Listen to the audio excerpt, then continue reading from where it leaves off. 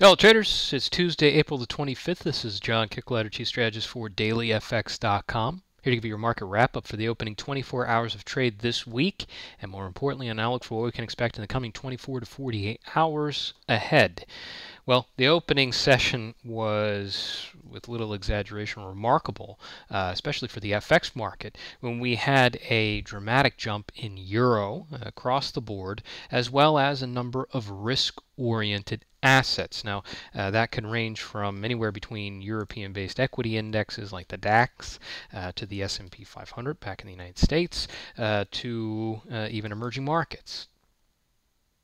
The theme was pretty consistent. Remarkable performance, significant gaps, very limited follow through. Uh, but what was at the root of this? Too many times we see a big move, we don't really consider what was the driver. And without considering what is the driver, I see developments like the Euro USD's uh, drive here, the gap higher, and the immediate assumption is revert to technicals, close the gap. That'd be a hasty call. We'll talk about that why uh, today, just like we talked about in the uh, webinar uh, for the fundamental forecast. But we'd also see not just a uh, reversion uh, being put at risk, but even progress, uh, so a technical break. Whereas many more people would be cautious about the Euro USD gap up and would be more prone to trade the range that it produced and that it seems to have. I think a lot a lot less uh, of the market would be uh, reticent to actually trade this very clear, very clean head and shoulders neckline break for the euro, for the dollar, all right, which is heavily influenced by the euro USD. However, this technical break, as clean as it looks, comes with significant baggage. Not just fundamental baggage, but market conditions baggage. And when you're trying to stack up a trade against too much headwind, it becomes a lower and lower probability endeavor. Not impossible, certainly, but it is not the high probability event that you try to look for day in, day out, so that you can make a consistent rate of return. So let's take a look at this. Euro USD. Little re, uh, little doubt about what was the motivator here. Uh, it was plastered all over the headlines. We certainly covered it very well on Daily FX. Uh, but that was the outcome of the U.S. sorry, the U.S. the French first round election. The French elections uh, actually had the outcome that most had anticipated, where the two leading candidates in the opinion polls had actually made it through the first round. Uh, the uh, remainder of the candidates would essentially be dropped off the presidential ticket, and the runoff would be between the two leading contenders. That would be Macron and Le Pen. Now, Macron is a centrist. The way that I see it, and the way that the markets have been seeing it, think back to the November U.S. presidential election. Hillary Clinton versus Donald Trump.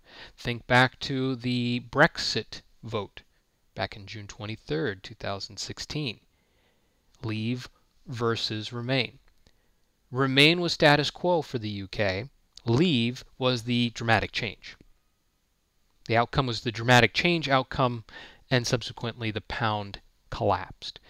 For the US presidential election, Hillary Rodham Clinton was considered to be the status quo, where Donald Trump was significant change. Markets don't like significant change, but when the candidate, uh, at least for the U.S. Uh, perspective, uh, of significant change was oriented towards uh, significant tax reform that would be business friendly and an infrastructure spending program which he has uh, vowed to pursue uh, would implicate faster growth and also faster interest rate expectations the market's move was dramatic. Had it been hillary clinton it would probably be much more restrained. Okay? This is the kind of mentality that the market is working on previously the assumption would have been status quo, and then the it would seem that the markets would not be even uh, referencing this very important event risk and are just ignoring everything and anything. As it happens, the two surprises that we had before had the market in hypervigilance, and subsequently we had the kind of response that we did on Monday. the outcome does lead uh, or does leave the centrist candidate, the no change status quo, not a, a measure on their full policies, not certainly not an implication of their social uh, programs, but more so on the market's perspective. For Le Pen, who is uh, backed by a very uh, uh, bombastic campaign to withdraw France from uh, the EU, uh, or at least call the referendum for it, as well as withdraw from the euro. That would be a systemic risk for the euro. And her candidacy would be considered a threat to this currency. So the outcome, as we saw it, saw a big jump. Clearly, these two candidates are still in contention. Either can win, but the probabilities have significantly changed after the first round to the second round. That's because the votes that would have gone to the other uh, contenders that were in the initial uh, phase are starting to consolidate behind the centrist view, making the anti EU, anti Euro views of Le Pen uh, far less likely to be realized. Now, don't write it off, certainly don't. But at the same time, this doesn't come to the same kind of statistical uh, balance that we had in the final days, final weeks of the US presidential election, certainly not to the Brexit, which was neck and neck the entire way. So it's not a surprise that the euro does get a relief rally. We can see actually from the euro volatility index that it also had a steep decline. All right, now back to the Euro USD. This relief is palpable. All right, the euro's systemic threat is abated significantly. But now what's the next move? Does the euro keep rallying because the centrists might uh, win the French election? Unlikely. Is there still a lot of discount that can be worked off? There might be some discount, but probably not to the same degree that we had before. How can I tell? The Euro Volatility Index. Right, that's the kind of hedge risk that was worked off. So while I wouldn't say closing the gap on the Euro USD is, is, something that we could just do on a technical basis alone, and a Ron Popeil method is set it and forget it, it can work out if we see a market that reverts to its norm. What's its norm? Well, as we've been seeing with most markets, including uh, benchmarks like the S&P 500, is consolidation the past few months. If we revert back to market conditions that are more range oriented, then that reversion is going to work out well with some technical resistance, and the Euro USD set to drift would more likely make a uh, path of least resistance move back into its range. Now, that wouldn't be a fast gap close because it's not technicals that are motivating it, it's a combination of all of it. But this helps us to put it into context. If we don't see this gap close, because as I pointed out uh, earlier uh, in Monday's session in the webinar, the gap that we had from the cable immediately after the Friday close, after the tremendous drop off on the sterling, the subsequent uh, week never saw that gap close, and we haven't to this day. All right, this is a fundamental consideration as much as it is a technical consideration. In fact, it's more so. So if you're going to trade the Euro USD for a gap, don't just do it from a technical basis. Think of the fundamentals and the market conditions that go behind it. The same is true of the Euro Pound and all the other Euro crosses. This is a tremendous gap back up. This actually has stalled a head and shoulders pattern. This will revert now back to Brexit. All right. The ECB rate decision on Thursday is also going to be a high profile influence for this currency cross. Pound yen, which we had a significant break higher. It seemed uh, we made that clean technical break after the snap election. Or sorry, we're going the wrong direction. Euro yen. Uh, we had that massive break back up, which typically uh, or was the substantial support, come back up. Former support, new resistance, 118 cleared it easily. But closing the gap is now uh, more so a dependency on risk trends, like all yen crosses. And we'll get to risk trends in just a second because it had a profound influence on this event risk as well. Euro Swiss. Finally, Swiss National Bank has a break. The pressure of a constantly devalued euro, depreciating euro, uh, is uh, taken off, at least for a, a, a day's reprieve. Uh, but uh, they're they're happy to let it go. Euro CAD, Euro Aussie, Euro Kiwi, all of it is the same.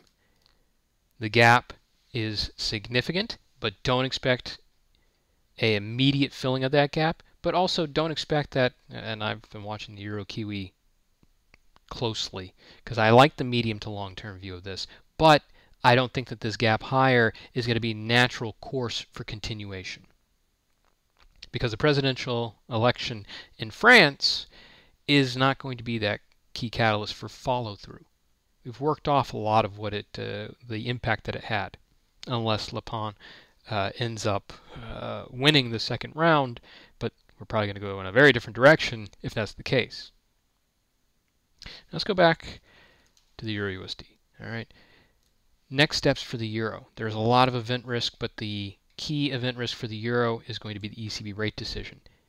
The European Central Bank is moving from an extreme dovish position, and there was, as of last month, discussion amongst these policy officials to potentially work off their balance sheet. If you recall what happened to the Fed when it started to talk about rate hikes, 2014 2015, the dollar surged. Not so much after it did start hiking, but it was the anticipation, the build up to it. Same is probably going to be true of the ECB with the euro. All right, key event risk, watch that for the euro.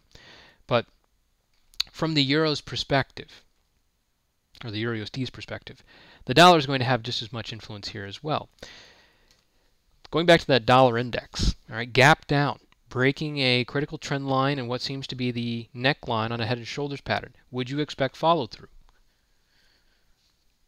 I wouldn't. All right, it's unless there's something else coming along that is going to motivate a sell-off in the dollar, the more liquid of the euro USD and the most liquid currency in general overall then it's probably going to struggle as a fall through. And more likely than not, if it consolidates or rebounds, certainly, uh, we're going to have a false break. So, what would motivate the dollar to continue to drop, or if it were to fill the gap in a, false break that you see here in the head and shoulders neckline into a rebound? Well, it's going to revert back to U.S. based event risk. The U.S. event risk to this week, or to start this session, sorry, uh, was relatively light. Kashkari, who I already know his views, although he did say something slightly uh, bearish, not just dovish, bearish. Uh, we had a, in my view, disappointing earnings figure from Alcoa. They might have beat earnings expectations, but their revenues uh, dropped. Things get heated, and they only build in intensity for the U.S. as the week continues. In the upcoming session, U.S. consumer confidence from the conference board. This is important because sentiment leads to actual reality and economic and financial positions. We get into Wednesday where we have more Fed speak, but more importantly, we are expecting the Trump administration to avail, uh, unveil its uh, the the borders of its tax reform plan. Perhaps not the entirety of what the details are. We've been waiting for that for a while, uh, but we're going to get what the aim is going to be. And a lot of confidence has built up in dollar positioning since the election, not to mention in risk oriented positioning in US based assets since the election, based on the tax policies and the assumption of an infrastructure spending program. Thursday, all right, we're going to get uh, a lot of US based event risk, a lot of cross currency wins, and then in Friday, we're going to get the US GDP figures amongst a, a intense uh, crosswind from global GDP figures. And then, of course, don't forget that at the end of the week, uh, unless there is a breakthrough in the standoff between the various branches of the government in the United States, uh, the U.S. is on pace to run out of money for uh, financing uh, the government, which leads to its own set of problems. We'll probably dedicate a, a special uh, strategy video to that. So the dollar has a lot going on, but it needs motivation. Anticipation usually dampens motivation for trend development, and we do have to thread a very careful course uh, to feed a, a, bearish decline. It's not like we have an assumption of uh, the Trump outcome, the government spending outcome, the GDP outcome, and add to that monetary policy and risk trends. Uh, there are probably not assumptions built into this. I think perhaps if you want to see a dollar-based uh, decline, all right, and extend this to its logical uh, outcome. And you can extend this to other uh, currency crosses. Okay, although the pound dollar didn't move that far, dollar yen is still up, and uh, some of the other uh, risk-oriented currencies didn't necessarily do that poorly for the dollar. But if you want to extend the dollar's decline, I think risk trends will certainly be a big component of that although against the yen, the Aussie, and the Kiwi, for example, uh, that might not uh, bode uh, too productive a anti-dollar view. But risk trends. You can see here that the S&P 500 jumped significantly, as we talked about. Uh, it wasn't just the euro-based volatility index that dropped. The VIX, the U.S. equity-based S&P 500 derived volatility index dropped as well one of the lowest readings that we've seen this year, going all the way back to really the summer lull of 2014. This crushed volatility. And for good reason. I mean, the risks that were posed by France were sig significant. We saw uh, considerable ramifications from Brexit and the U.S. election, so it, it, it goes to uh, logic that we would have this kind of pullback in volatility, but to this degree, this is certainly leveraged or intensified by complacency. We also had a significant drop in gold-based volatility. All right. And all those risk-oriented assets, all right, the German equity index, this was a France decision, but German and European indices rose to be expected if the euro crisis is abating uh, or the systemic threat that it was facing abates. Uh, we also had emerging markets, high yield, far-flung risk-oriented assets, all performing with a gap and moderate follow-through. Does this really carry this event the kind of positive sentiment necessary to extend this to its next leg higher? A new record high for the S&P 500, uh, a continued uh, optimism for other asset classes. If it's going to struggle with the euro, it's going to definitely struggle with risk-oriented assets as a broad group. This is, as I had insinuated with the VIX, a reflection more of the complacency in the market and the reasoning and the uh, the opportunism uh, to bid all risk-oriented assets uh, when the opportunities arise, to go in quickly and take advantage of that opportunity and, you know, withdraw. This is not a trend kind of development. Not unless there's something else that comes in behind it that says risk on for a more legitimate, uh, continuous purpose. So this risk orientation, all right, this is the kind of gap where, yes, it is at risk. The euros, might, maybe not necessarily. Depends on market conditions. But for risk on, this certainly does really uh, extend itself to unreasonable proportions if you really are uh, dedicated to a closing a gap, the euro yen, uh, given the leverage that this represents, is more aligned to those thinkings. But with this view, risk trends are going to be probably very difficult to maintain. The extreme low in volatility, especially considering what the rest of our week represents, particularly from the US, but we're talking about uh, the U.S. Consumer Confidence Report. Then we get into the BOJ rate decision before the ECB rate decision the subsequent day. Uh, we have considerable number of uh, speeches and meetings that are being, going to be done to a very intense Brexit. We have the Trump administration's tax plan, and then the possibility of a U.S. government uh, shutdown as of Saturday. Uh, we have a range of uh, indicators and data throughout the week, earnings, uh, and of course Friday's run of GDP statistics. This is a lot of anticipation. And it's very difficult to imagine that the, there's going to be a record low, or sorry, multi-year low uh, expectation of volatility and risk going into this run. Reality suggests something very different. All right, so if you are in a long risk position, I would uh, encourage some uh, deep thinking to really assess how confident we are in this position, what our expectations are, time frame, objectives, and if we have a reasonable stop, or think about the opportunities if risk trends start to slip. If risk trends start to slip, uh, there will be plenty of opportunity to close gaps but I wouldn't necessarily consider it a full reversal into a full-scale sell-off. All right, that is asking for a lot. It's possible. Uh, sentiment has a tendency to build upon itself, especially after hitting extremes, which we are extreme complacent and extremely low in the risk metrics.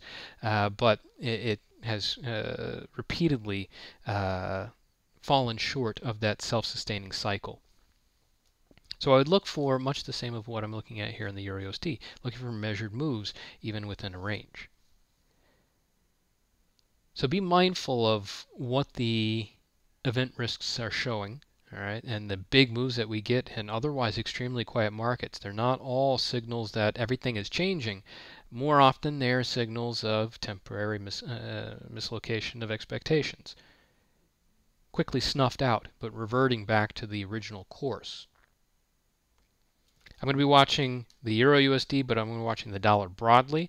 Risk trends are at the very top of my list for concerns, and volatility as a separate measure of risk trends, but also as a instrument to trade, as many people are now treating it, uh, in and of itself. I mentioned gold volatility dropping. You can see that we did gap below 1280, uh, but this retains some of its uncertainty because of the event risk as it picks up to the end of this week, especially of U.S. Uh, political and financial condition. A last look at oil. You can see that the march continues, consecutive bars, and certainly a lot of progress down towards the bottom of this well-established rising trend channel. Uh, we're not all the way down at the extreme, which now falls at 48, but it's never a good idea to uh, take profit at the very extremes of ranges, nor is it good to expect that you're going to get all the way to the very bottom of a range uh, before you can mark a ideal entry. Ideals rarely work in markets. All right, so take that into consideration. All right, we'll wrap it up here. I will be out of the office tomorrow, so no trading video tomorrow. I will pick it back up Wednesday evening, and we'll talk about the uh, far more intense event risk as it starts to uh, build when we talk again. Until then, I wish you good luck trading out there.